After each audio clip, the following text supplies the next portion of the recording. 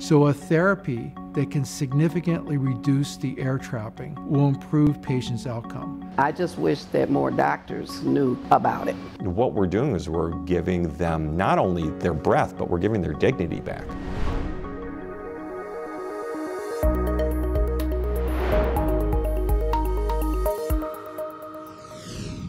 For patients who have struggled with severe emphysema or COPD, there is a viable, safe, and proven treatment option, the Zephyr valve. It's a breakthrough device that's providing hope and relief, literally helping the world to breathe. It may be a small valve, but the innovation surrounding it is one of the biggest advancements in care for people suffering from a debilitating disease. COPD is the third leading cause of death in the world and fourth leading cause of death in the United States. Millions struggle, often without even knowing what it is. There's at least 12 million people that are diagnosed with COPD in the United States. It's thought to be that that's about a 50% underestimate because of problems with timely and inappropriate diagnosis, and about 3 million of those are people that have predominant emphysema. Symptoms often don't appear until significant and irreversible lung damage has occurred. Patients need to be knowledgeable, they need to be given the information, they need to have opportunities for care. This is a group of patients that has historically struggled. They're often in rural areas and communities that are socioeconomically disadvantaged. While some reasons for the disease may vary, its effects are harsh for all patients. You can't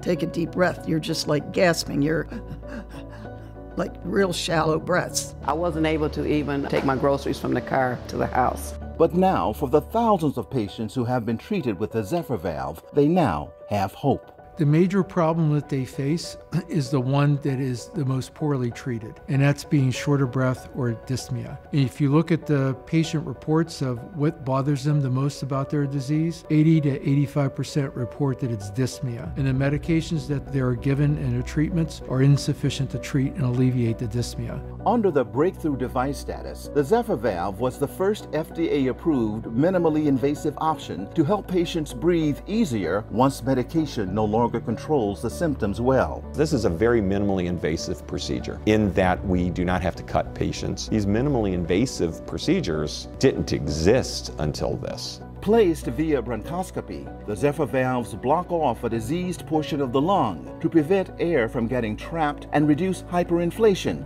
which allows the healthier lung tissue to expand and take in more air. This results in patients being able to breathe easier, be less short of breath, and have an improvement in quality of life. So we try to eliminate the usage of that bad portion of the lung as much as possible by collapsing it, letting them use the good portion of the lung. I have four Zephyr valves placed in my lower left lobe. Barbara Doggett's lung function increased from 31 to almost 48%. Just like any other new technology, it's really a lot of educating physicians, it's educating patients, it's educating nurses. And it is innovation like the Zephyr valve that can reduce health disparities around the world. But we have a whole subsegment of the population that's been living like this for years. Now is the time to raise some awareness, to understand what these people have been living with. They deserve attention and they deserve treatment and they deserve resources and they deserve to be seen. Although the procedure is complete in under an hour, it's important that patients and referring physicians understand the evaluation and patient selection process. It's the assessment of patients, setting the correct expectations for the patient, what they expect to come out of this procedure. For some, it's about families' most precious moments. My goal was to be able to dance at my daughter's wedding when she gets married in November. Or to step back on the beach. So once I got down there and the waves came over my feet, I said, Thank you, God.